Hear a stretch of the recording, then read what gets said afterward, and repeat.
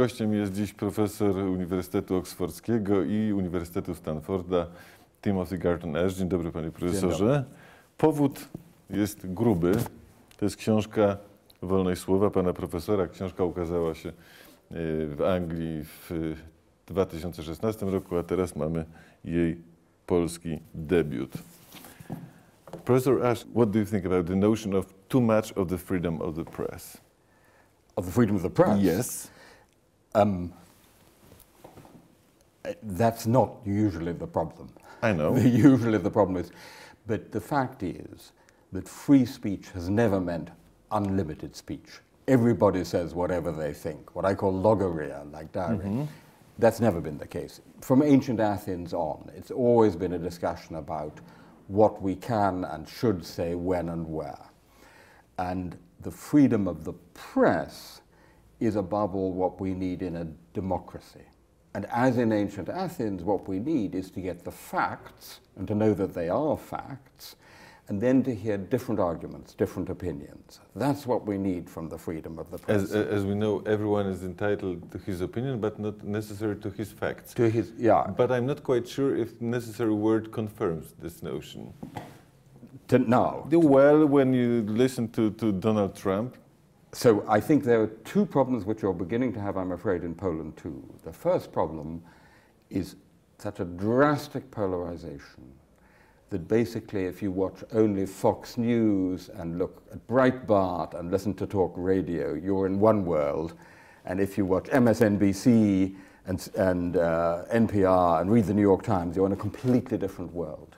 And the whole point alternative of reality. Alternative realities mm -hmm. and alternative facts, to use the famous mm -hmm. phrase. And that undermines the essence of democracy. And what is democracy?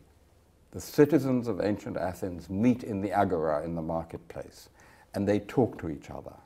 And here we don't talk to each other. We live in these separate worlds. But when you, when you say here, you mean the United States and Poland?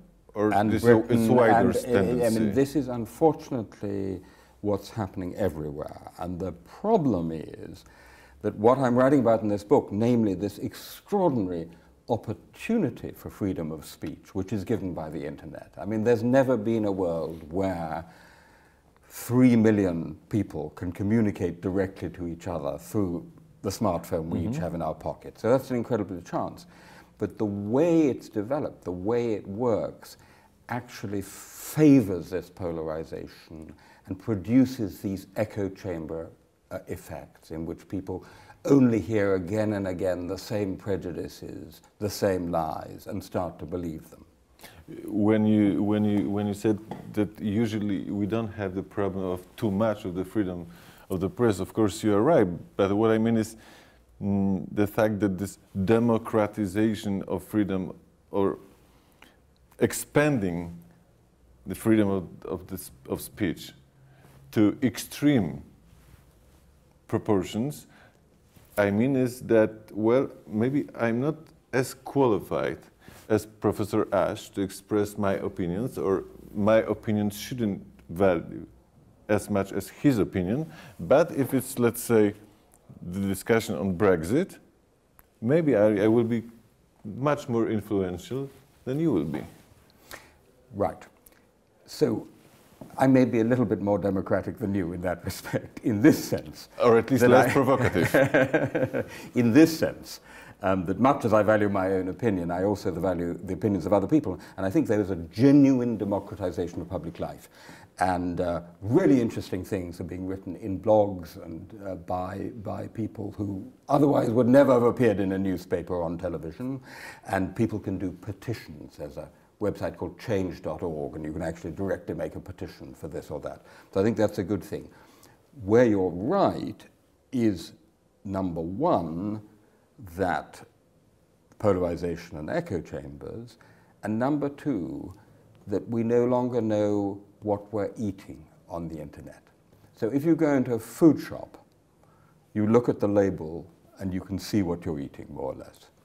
We did studies at Oxford which showed that even well-educated students didn't know where the information they get on Facebook comes from. They didn't know if it comes from a really reliable source like CNN or the BBC. Or from Kremlin. Or from the Kremlin. Mm -hmm. Or from uh, what we call a Macedonian meme farm, from some kids mm -hmm. in mm-hmm. Macedonia who are producing fake news to make money. And they really, well-educated students had no idea what they were eating. So one of the things we need to do is to do what I call food labeling for content, food labeling for information. So we know what we're eating. And then that doesn't necessarily mean that what Professor Garton-Ash said is worth more that, than what Pan Kowalski says. But at least we'll know that we're listening to Professor Garton-Ash or Pan Kowalski or Mr. Putin. So my question is, do you think that the internet, in general terms, is it a blessing or a curse of contemporary democracy? Both, of course, both. Well, That's the nature of it's, all it's technology. It's 50-50? What, what, are the proportions? Uh, oh, right, okay. So is a knife a blessing to humankind? You it depends on knife, what you do with it. Yeah, you can use it to cut the meat or you can use it to murder someone. And that's true of every single technology that has ever been invented. The internet has what the experts call affordances. It, it privileges certain things happening uh, rather than others. On the whole, I think it's a blessing. On the whole, I think it's a blessing. 70% a blessing, but it depends how you make it work. And here's the problem we have what I call private superpowers. Facebook, Google, Google, Amazon, these are private superpowers. They're huge forces. I was just in Białystok and talking to someone, where do people get their news? Facebook, Instagram, Snapchat. Same thing in India, Turkey, Egypt, you name it. And so you're quite right that you're writing that the bosses of Google and Facebook are much more influential than Angela Merkel or Mr. Macron. Than, than, than even Donald Trump. I mean, they have extraordinary power. Mark Zuckerberg, I, uh, Caesar Mark Zuckerberg, I like to say, the Emperor Mark Zuckerberg. And the way those platforms are working privileges what they call engagement. They want our children to spend as much time as possible on Facebook. So it privileges everything that is exciting and sexy. And of course, fake news. The Pope supports Donald Trump for president. It's more sexy it's more sexy. real news. Hillary Clinton ate my cat. Mm -hmm. That's more sexy and attractive, therefore gets more hits. And then the algorithm winds it up. So we actually know that fake news, false information, is more likely to go viral than true information. So, so, so we have to go back, and I have this conversation to them we as Europe, for example, and say, you have a public responsibility to give us more reliable news. So the less educated we are, the more dangerous is the internet, correct? Correct. The, the, the less educated, number one, and the more ideological we are. But you said that in general, the assumption is that 70% of the role of the internet is positive. Absolutely. Would you say the same one day after the election of Donald Trump and one day after Brexit referendum? So what I would say is that Facebook and Google and the other private superpowers have failed in their public responsibility. They should have seen in advance that Russian disinformation was being used to target swing voters in an unprecedented way. And, and so I hold them responsible. That's why Zuckerberg had to go and testify to Congress. I hold them responsible for not understanding in advance how their platforms could be abused. And you mentioned his, him testifying in the Congress. Was your, influ- uh, was your impression that he really wants to, to face the problem, that he sees the challenge, or that he sees the only thing he sees is the danger to the market value of Facebook? It is impressive to be able to lose 60 million dollars. I'd love value. to do that. I mean, I'd love to like be able to, do that. One would like to in be a week to be in that position. Look, obviously, he's terrifically scared for the business. That's obvious. I spent a lot of time talking to Facebook. I spent three days inside Facebook in January, seeing how they work. And of course, they want to make a lot of money. But most of them are basically decent American liberals, and they want to do good as well as do well. Decent American liberals can sell shit if it gives you billions of dollars. Well, you use that word, not I, I but did. it's absolutely true. Certainly bullshit. Certainly bullshit. Mm -hmm. That's true. What uh, Uh, absolutely, that's perfectly true. So, so, but I think that we actually, this is, a, this is a historic moment. This is a turning point when Facebook is facing up to the fact that it provides the public sphere for much of the world. And therefore it has certain public responsibilities, like a public service broadcasting, like the BBC. Um, whether they're going to do the right thing, whether they're able to do it properly, but my view is we need to engage with them as well as putting pressure on them um, and, and help them to do, to find out what they need to do. So is it true that we have some sort of new unholy alliance of autocrats and dictators and the newest technologies like, like Facebook? I, and is it, it's, isn't it scary? At the same time that Vladimir Putin has brilliantly exploited the possibilities for disinformation, those regimes are also scared of the internet and the potential it gives for people to network and organize, as we saw in the Arab Spring. China, I write a lot about China in the book, has built the largest censorship apparatus in human history in order to control the internet because they see its liberating potential. Uh, could it be used by Zuckerberg in finding sort of verifying what's inside Facebook as a tool? So you may remember that I had a Stasi file. The Stasi, mm -hmm. the East End Secret Police, spied on me. Facebook knows much more about us than the Stasi ever did. What Facebook knows is beyond the Stasi general's wildest dream. So if they wanted to use it for bad reasons, they absolutely could. You remember Google's slogan used to be, don't be evil. And one Google engineer said, we really try not to be evil, but if we wanted to be, man, could we ever. Isn't it scary? Because for years we were scared to think that, basically speaking, you have to pay like, what, $2 billion to be elected US president. And right now it looks like it's enough to spend a couple of million to influence the outcome of the election. It was never so easy and so cheap to influence the opinions of people. Yeah, although to be honest with you, I, I, I think that's a one-off because everyone in the United States was so shocked by it that I think that which was political advertising, targeted political mm -hmm. advertising during the election, I think next time round that will be controlled much more. So, so I mean, I, I, you know, we shouldn't be. 25 years ago, it, there was a period of cyber utopianism and cyber optimism, and the internet was going to set everyone free. Now we have cyber fatalism, and everyone thinks it's going to be a disaster and the end of the world. We shouldn't be fatalists about it. There are solutions, there are ways of addressing these problems. A teraz przechodząc, bo tu też jest pewien związek między, między nowymi technologiami, wyborami i wpływaniem na opinię ludzi, a sytuacją w Polsce. Jak myśli Pan o Polsce, odrzucając część słowa cyber, to myśli Pan o Polsce w takiej tonacji fatalistycznej czy optymistycznej? No, w żadnym wypadku. Nigdy nie można myśleć o Polsce w kategoriach fatalistycznych. No jak się spojrzy jestem... przez okno, to czasem można, panie profesorze. ale, Niezależnie od pogody. Ale nawet wie, u nas pogoda jest też tak, jak jest w Anglii, więc to, to nie przyjmujemy się. Nie, proszę pana, ja jestem zaniepokojony i nawet zmartwiony z dwóch powodów. Po pierwsze, bo widoczny jest dla mnie, że Jarosław Kaczyński spróbuje, jak gdyby, bym powiedział, urbanizacja Polski. Spróbuje, czy już to zrobił w dużej nie, części? Nie, jeszcze nie jeszcze to nie. zrobił, to, to, to, ale, ale, ale na Węgrzech to już widzimy, mhm. jak to jest. Viktor Orban mówi, że to jest nieliberalna demokracja. Nieliberalna demokracja nie istnieje.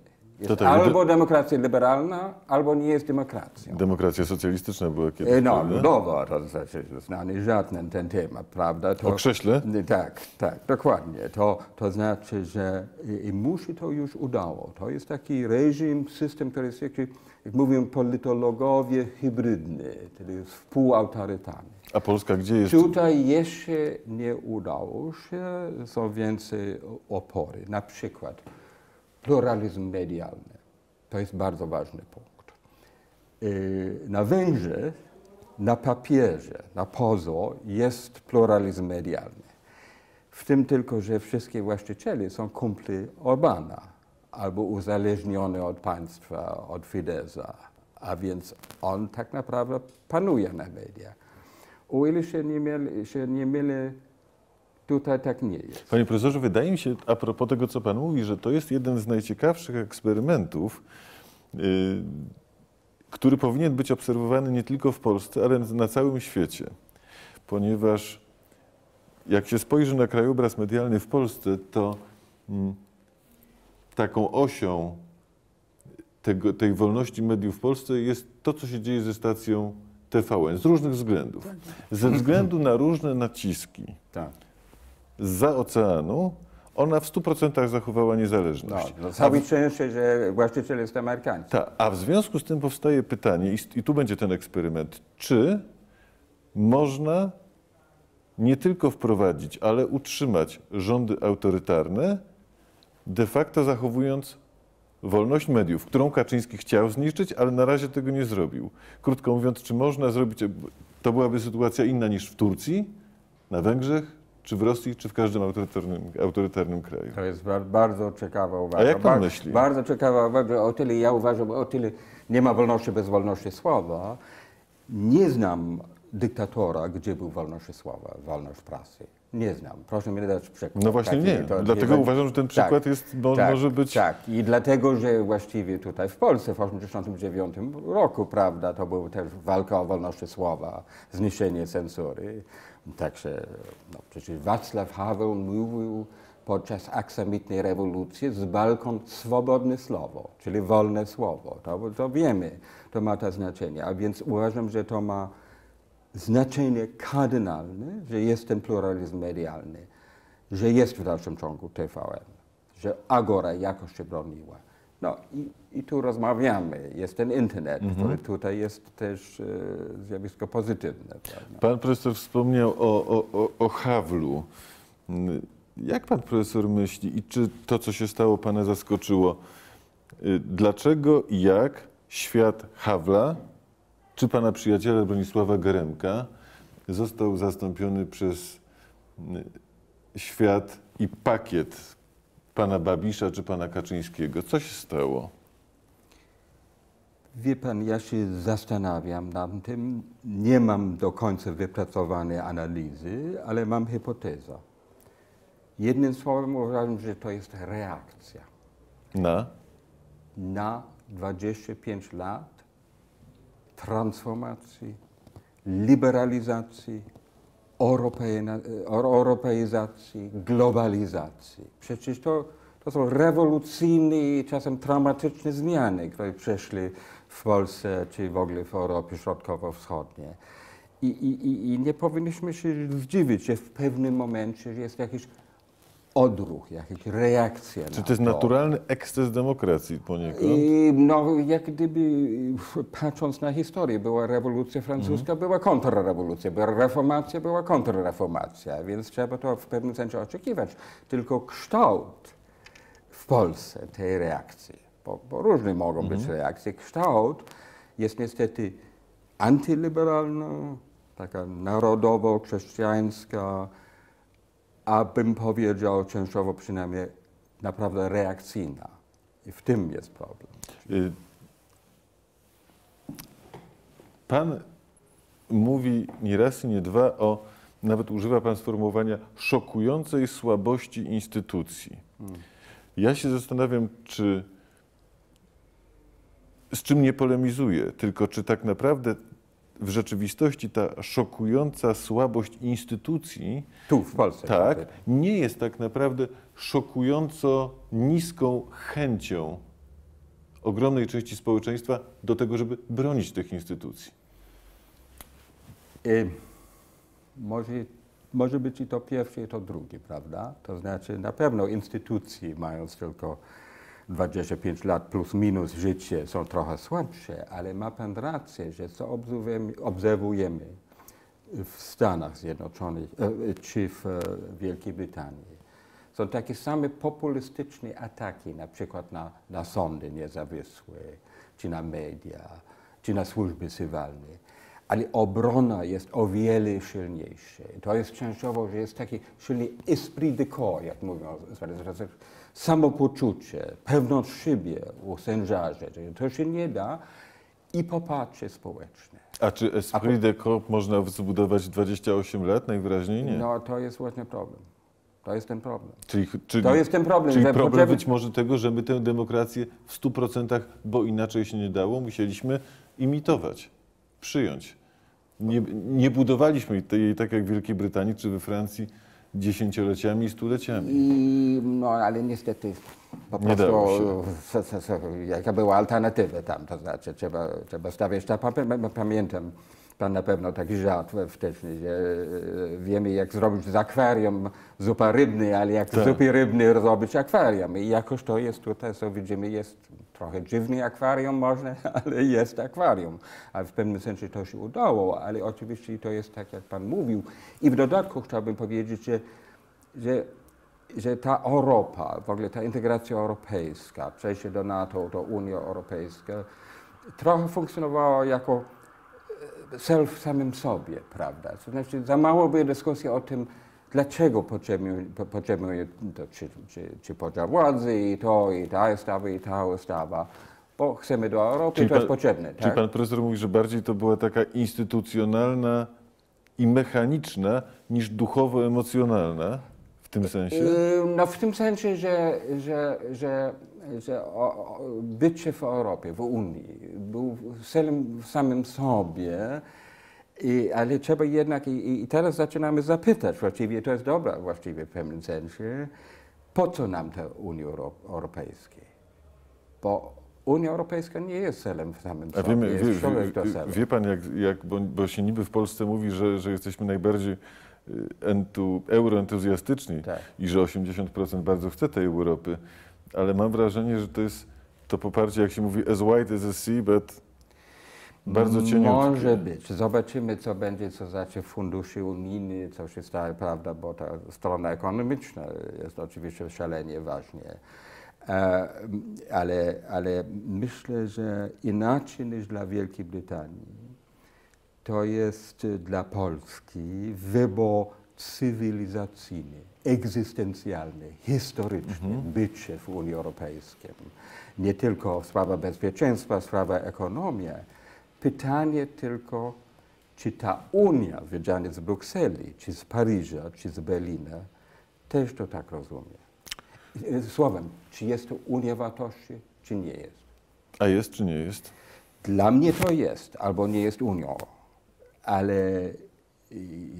gdzie zobaczę, że to, co zrobił Viktor Orban na Węgrzech, nie tylko został akceptowany, ale nawet y, politycy z tej em, Europejskiej Partii Ludowej. Ludowej, czyli tej em, sieć najważniejszych e, partii centroprawicy w całej Europie, w tym CDU niemiecki, wysłają serdeczne gratulacje na wygrane zwycięstwo. Właśnie to jest pytanie, Grupa intelektualistów napisała teraz list do Angeli Merkel z protestem przeciwko brakowi reakcji na, na ewidentne Absolutnie. ja proszę, nadużycia. pana, ja proszę pana dawno y, y, y, starałem przekonać, że EPP, Europejska Partia Ludowa, trzeba wyrzucać po prostu Fidesza. Bo jaki to, to, to nie jest tradycja, to nie jest demokratyczny e, centroprawicy. A więc jest możliwe, że chociażby dla Polski to jest bardzo ważne, że Unia jest Unią wartości. Dla zachodnich Europejczyków niech będzie dyktatora węgierska. Czyli, czyli, czyli na ołtarzu pokonania zachodnioeuropejskiej socjaldemokracji zachodnioeuropejska prawica sprzedaje europejskie wartości. Tak można by powiedzieć? Y, W tej chwili, patrząc dość cynicznie, te ile tam 20 głosy, które dają e, Europejska Partia Ludowa większość, zdecydowanie większość w Parlamencie Europejskim, są czynnikiem. Em, ale, ale niestety to jest też taki wymiar, uważam, że, że, że jak gdyby dla wielu Francuzów czy Niemców jednak jest, nie jest tak istotne, czy będzie demokracja liberalna w właśnie. Europie Środkowej. I w tym takie stare stereotypy, które wracają, jak Macron Emmanuel Macron mówi o Europie Wschodniej. To jest od XVIII wieku, od czasów e, oświecenia, taki stereotyp, że Europa Wschodnia, tak naprawdę to nie jest Europa. To jest coś egzotyczny, barbarzyński, półazjacki. A jak pan patrzy na to, co się dzieje za oknem, to, co się dzieje w Białymstoku i to, co się dzieje w Budapeszcie, to jest stereotyp łatwo odbudować i uzasadnić, prawda? Ale, ale nie są sprawiedliwe, to nie jest prawda. To nie jest prawda, to nie jest jak gdyby la Pologne profond, to nie jest kwintesencja Polski czy kwintesencja Węgry. Jeden... To jest jeden nurt. To jest jeden nurt historyczny, to na pewno. A jeden z europejskich, jeden z, z polskich polityków, którzy funkcjonują w Parlamencie Europejskim, mm, a był blisko rządu Platformy Obywatelskiej, opowiadał, że jeszcze kiedy prezydentem był Nicolas Sarkozy, to Sarkozy w którymś momencie powiedział Tuskowi, ale wiesz, ta prawdziwa Polska to nie jest ta twoja Polska. To nie jest ta Polska zwolenników Platformy Obywatelskiej. Ta prawdziwa Polska to jest Polska Kaczyńskiego. Nie miał racji? Nie miał racji. No to jest właśnie kluczowe pytanie dotyczące może nawet nie tyle teraźniejszości, ale, ale tego, co się w Polsce zdarzy w, naj, w najbliższych latach. Nie miał, bo, panie profesorze? I Marine Le Pen mówił, że prawdziwa Francja to jest Front National. I Brexiteers mówią, że prawdziwa Anglia to jest Anglia Brexitu, a jest inna Anglia, inna Francja i inna Polska. To jak zawsze w historii europejskiej jest spór o tym, jaka ma być ta Polska, jaka ma być ta Anglia, jaka ma być ta Francja.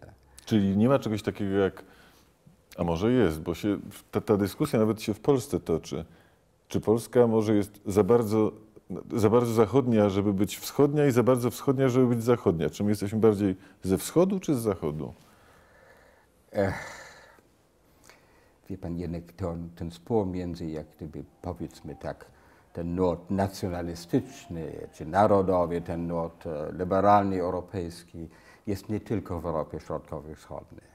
To jest też obecne w Francji, też w Holandii, nawet w Wielkiej Brytanii. Także uważam, że to jest ogólnoeuropejski, nie, nie, nie tyle specyficzny yy, dla, dla, tego re, regionu. Ale między nurtem a, a Wisłą jest duża różnica, prawda? to jest rzeczywiście, oczywiście, jako historyk widzę, że to jest bardzo silny nurt w tym regionie. To jest na pewno to. I, i jeżeli mówię o tej reakcji, to oczywiście łatwo jest wracać do coś mm, tradycyjnego, takie tradycyjne pojęcie prawda, wspólnoty religijno-narodowej. To jest oczywiście łatwo. Ale wie pan, ja teraz byłem na Podlaszu, rozmawiałem z różnymi ludźmi, także z ludźmi PiSu to bardzo różne się bywa i to jest mieszane, jest pewna schizofrenia, bo jednocześnie się lubi ta, ta, ta, ta, ta narracja tradycyjna, prawda, ale jednocześnie się chce być w Europie, chce być nowoczesny. A więc ja bym powiedział, że to jest spór. To jest dyskusja, to jest wolność słowa. Tak powinno być mhm. w demokracji. Spór o tym, jaka ma być ta Polska i jaka ma być ta Europa. I to, że się te siły ścierają, jest naturalne. I pan przecież w niejednym tekście napisał, że naturalnym jest to, że y, wygrała w Polsce partia centroprawicowa czy partia prawicowa ma swoją agendę i chce ją wprowadzić w życie. I to w tym nie mam problemu. To myśmy mieli też Margaret Thatcher, ale nie o to chodzi. To chodzi o spróbę zmiany systemu, prawda, zmiany reguł gry. I to jest celem ich, tak naprawdę, zmiana reguł gry. No, ja myślę, że to, to, to, to celem też jest jakaś tam agenda e, konserwatywna, prawda? Mhm. To na pewno jest autentyczny cel, e, ale w tym e, to jest demokracja. Margaret Thatcher też miał taki cel konserwatywny, ale problem jest z tymi systematycznymi, to znaczy ta urbanizacja, o której mówiłem.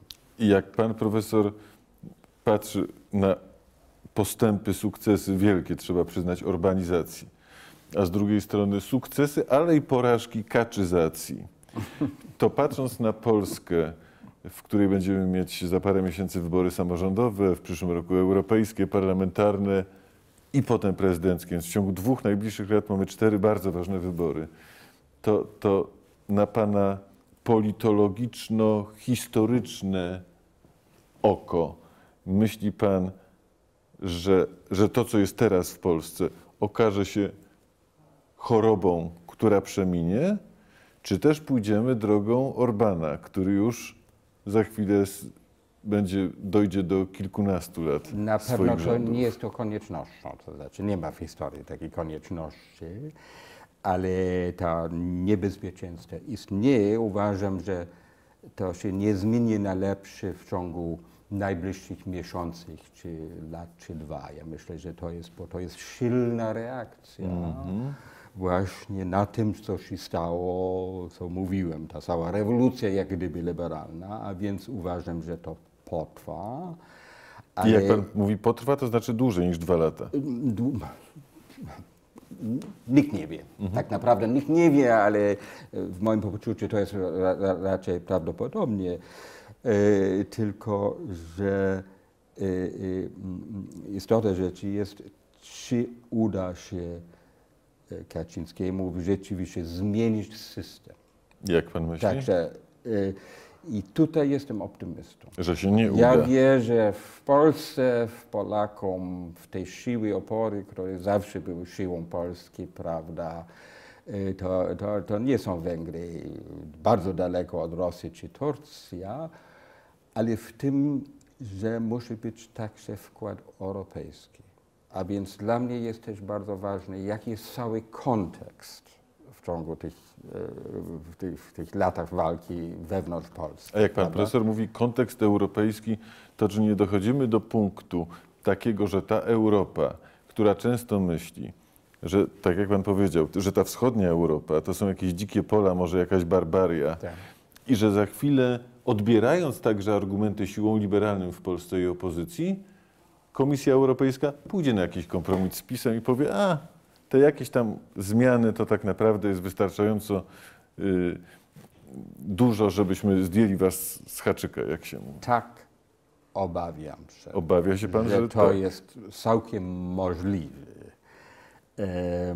I mieć świetny spokój, bo są ważniejsze rzeczy, strefa euro, plan Macrona i tak dalej. To jest możliwe, ale jednocześnie muszę panu powiedzieć, że, że to jak gdyby te rzeczy, które się działy w, na Węgrzech i w Polsce się akumulują do jakiś punkt, gdzie jest poważna dyskusja o tym, czy jednak nie powinniśmy powiązać funduszy unijnych z takimi sprawami praw człowieka, praworządności, wolne media i tak dalej. Tylko paradoksalnie akurat to mogłoby wzmocnić Kaczyńskiego i PiS.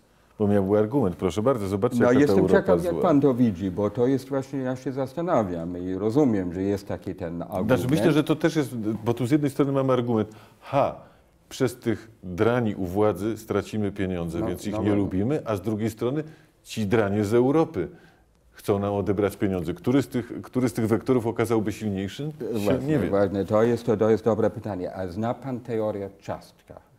Żeby zjeść i, i mieć? Czy to funkcjonuje po polsku? To eat a cake and... To have the Tak, cake and eat. tak. To jest takie przysłowie angielskie. To To trochę jest and z naszym stosunkiem, to stosunek do Europy, że zjadać cały czas ciastko, tylko nie bardzo... I, i, i, I to mówi minister spraw zagranicznych brytyjski Boris Johnson. Mhm. Że on ma taki stosunek do ciastka, że trzeba to mieć i jednocześnie to zjeść. To chcieli Anglicy i, i, i teraz nie mają ani jednego, ani drugiego. Natomiast Viktor Orban i Jarosław Kaczyński mają to ciastko i jednocześnie to zjadzą. To znaczy mają te wielkie subwencje, niesamowite właściwie fundusze unijne, największe, a jednocześnie zjadzą.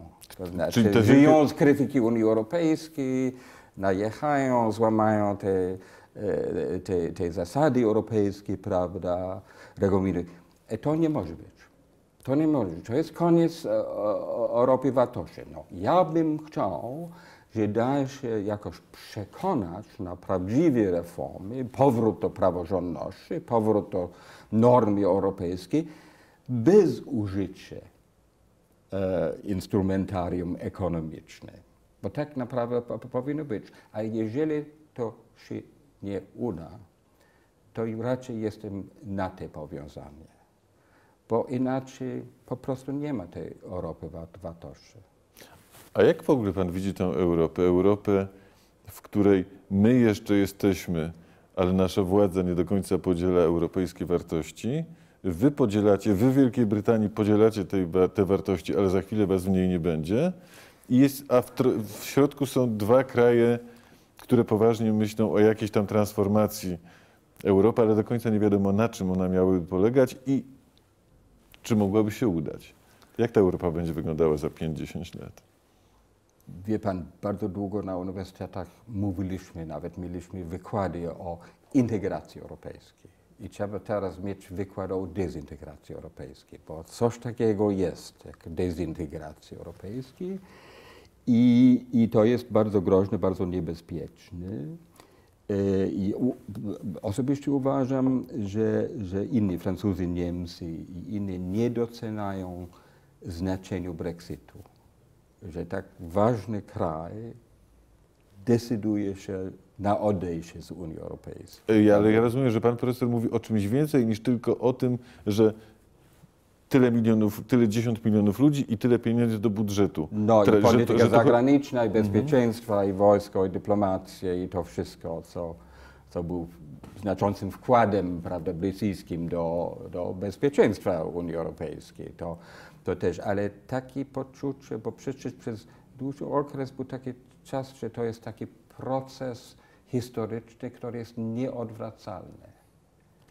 A nagle okazuje się, że jest odwracalny. Może to jest ten sam refluks, który w Polsce widzimy. Absolutnie, to jest częścią tej samej historii, a więc y, ja boję się o przyszłość Unii Europejskiej rzeczywiście i, i tej tendencje dezintegracyjne, dlatego że jestem, i z tego powodu uważam, że postać Emmanuela Macrona jest bardzo ważna, bo on jest jedyny w tej chwili, który naprawdę ma wizję i przekonanie co do Europy. Tylko jeszcze swoich kolejarzy musi pokonać.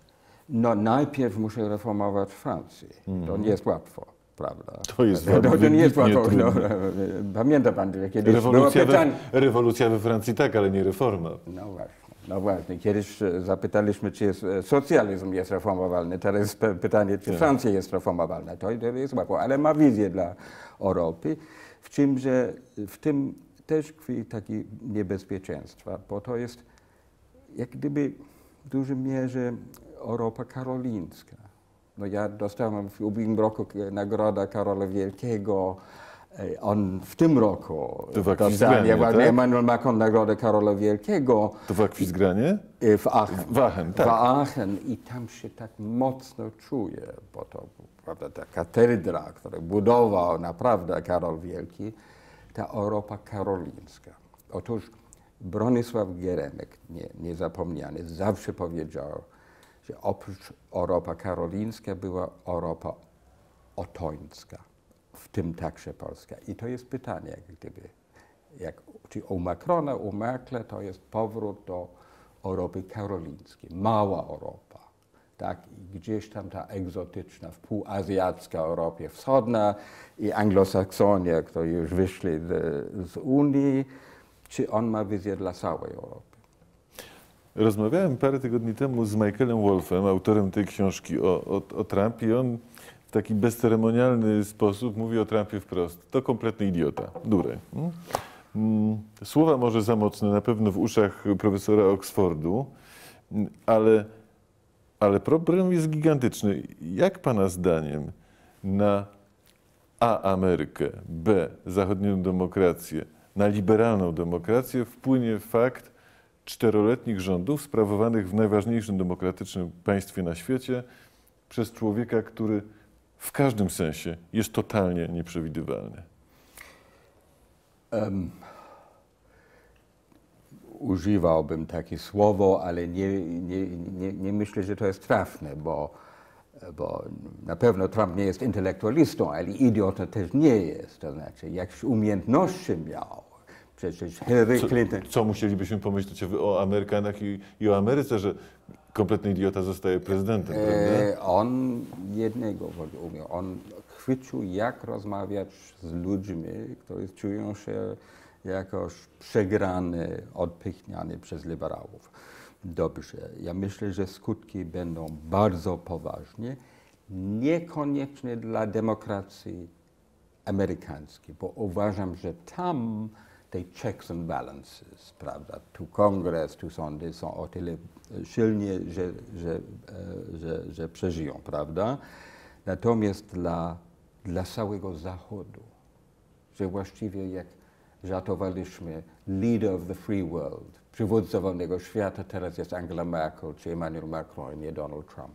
Na wicerunek y, y, Stany Zjednoczone to skutki będą bardzo negatywne i pamiętajmy, że, że w całości to jest taki okres. Jaki to jest okres? To jest okres populizmu, ale przede wszystkim to jest okres Chiny, gdzie pojawi się na świecie nowe supermocarstwo, bardzo potężne Chiny.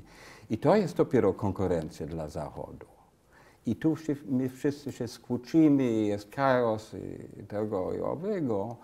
I krok po kroku, po kroku Chiny się rozwijają, są coraz mocniejsze. I mają tak jednolite przywództwo, jakiego nie miało od czasów Mao. Przy tej potędze to może stworzyć niesamowity zupełnie konglomerat. Tym, że kiedyś uważałam, że ta moja wiedza specjalna o historii komunizmu i jak funkcjonuje komunizm jest zupełnie nierelevantne. To już było archaiczne, już znów jest relevantne, bo to jest właściwie powrót do leninizmu. Coś niesamowitego. Panie profesorze, kończąc, jest takie pojęcie, chyba nawet tytuł filmu, Suma wszystkich strachów. Y, jaką miałby Pan sugestię czy też radę dla Polaka, który poważnie myśli o Polsce, Europie i o świecie? Mm, Sugestie albo opinię. Czy, czy on, tenże Polak, ta Polka, czy ma bardziej powody do tego, żeby się bać o Polskę, bardziej, żeby się bać o Europę, czy o cały Zachód i zachodnią demokrację i o liberalną demokrację? Gdyby to na moment spróbować się rozdzielić. No trudne pytanie. Trudne pytanie. E, moim zdaniem, co widzieliśmy 4 lata temu, był to, że Polska stała się ważnym filarem, ważnych część Unii Europejskiej Zachodniej. Przecież Polska wtedy był naprawdę poważnym partnerem europejskim i zachodnim. I kryzys w Polsce, to co się stało w Polsce, tak osłabił i, i, i, i Polska sama, ale także wizerunek Polski, pozycja Polski w Europie, że jednak to, ten kryzys Polski taki ma skutki bardzo negatywne i dla Unii Europejskiej, i dla całego Zachodu. A więc każdy, jak mówi zawsze pani Merkel, może zrobić prace domowe, my Anglicy też, ale zrobiąc te prace domowe, walcząc o demokrację, pluralizm, demokrację liberalną w Polsce, to jest też walka dla Europy i dla Zachodu. Panie profesorze, bardzo dziękuję. Talking about, nie już tak, zaplanowaliśmy, że ta ostatnia część taka międzynarodowa będzie, będzie po angielsku, ale pomyślałem sobie, że panu profesorowi tak fantastycznie jedzie po, no, po, po polsku, że byłoby to kompletnie y, pozbawione sensu. Mówiąc o zadaniu domowym, trudno określić lekturę Pana książki, czy sugestie, żeby Państwo przeczytali jako, jako zadanie domowe, bo to jest y, powiedzmy kombinacja zadania domowego z przyjemnością, ale serdecznie zachęcamy do, do lektury i, i bardzo Panie Profesorze dziękuję, że korzystając z wolności słowa dziś mogłem użyć jej, y, mając okazję rozmawiać, rozmowę, rozmawiać z Panem Profesorem. Serdecznie dziękuję.